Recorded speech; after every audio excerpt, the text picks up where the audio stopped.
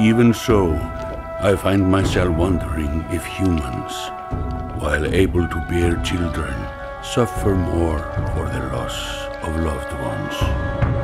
Several weeks have passed since we slew the Sundr known as Bellower, but the chaos of the world did not wither as we hoped.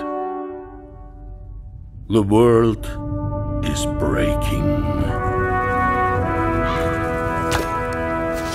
We sail aboard hastily crafted ships for the safety of Arberrang, the human capital. But the river curses us with a clear view of the dredge assaulting another hopeless village.